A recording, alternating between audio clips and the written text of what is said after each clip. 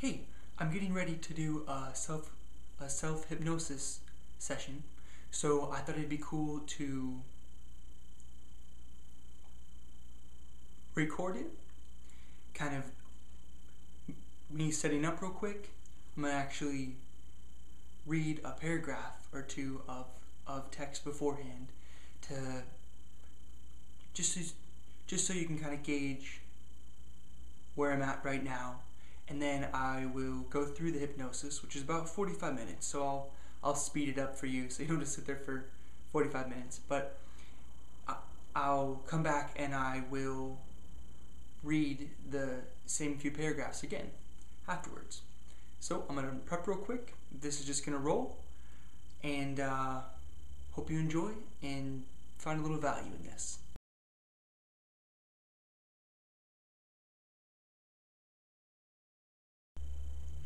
Got the big comfy headphones. I almost started putting that in my ear. not sure if you can see or not, but we're not in a closed studio here in the office today, so the so the dog and the cat are right here hanging out.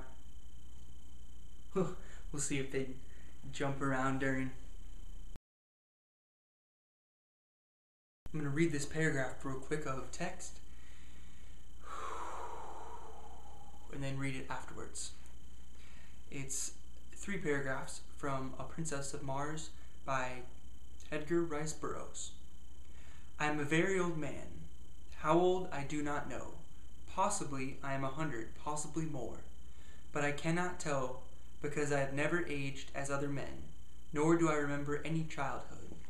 So far as I recollect, recollect, I have always been a man a man of about thirty.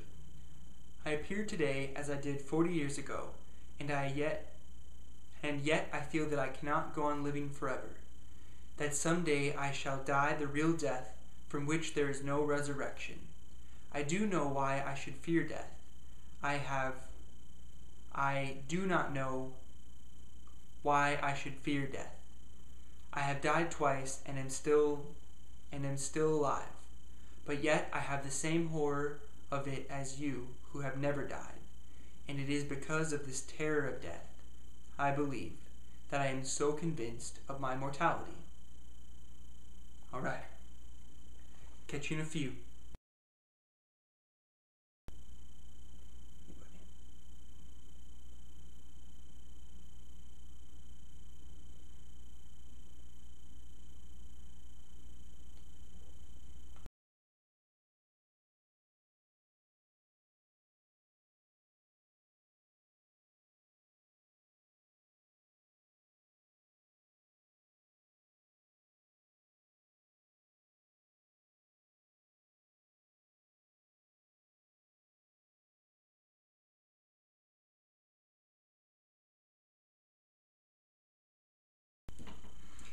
Wow.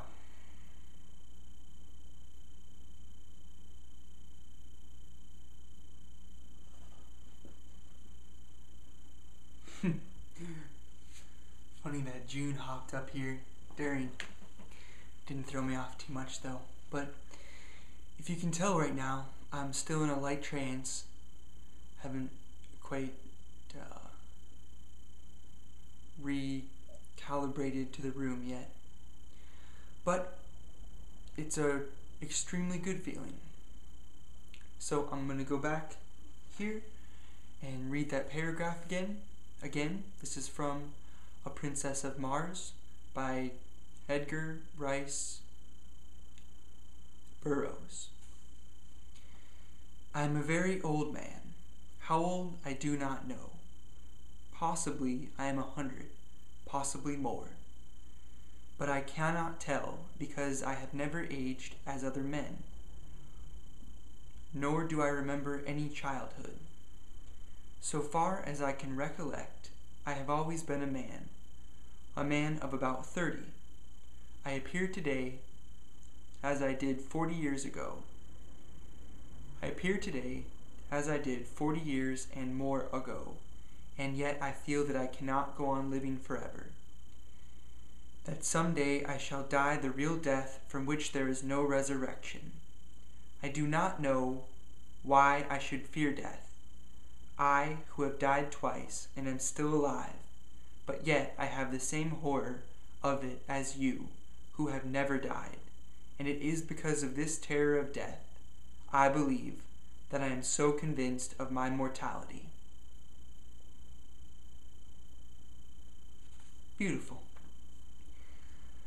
So let's talk real quick about self hypnosis and hypnosis in general. We each, as human beings, have a subconscious and a conscious. The subconscious is where our habits are formed. Pretty much anything that's automatic. Our speech patterns generally come from the subconscious, unless we're working consciously to either in, include more words or, for example, stop saying like all the time. I have a I have a habit of that if I'm not careful. Anyways, though we have the subconscious and the conscious. And the subconscious is also where you have behaviors. And I believe that through working with self hypnosis, you can begin to recalibrate the habitual patterns that get you into a stutter. And over time, you can work to basically, you can work to basically, you can work to basically eliminate them. This particular self hypnosis is by a hypnotherapist named Duncan McColl. You can you you can buy it online. And maybe in maybe in another video I'll go into more detail. But this is just kind of an example of the type of state change that you can get from a from a structured relaxing self-hypnosis track. If this is the first video that you've seen of mine please subscribe up above and you'll be notified when I post more videos. Until the next one, take care and have a good day.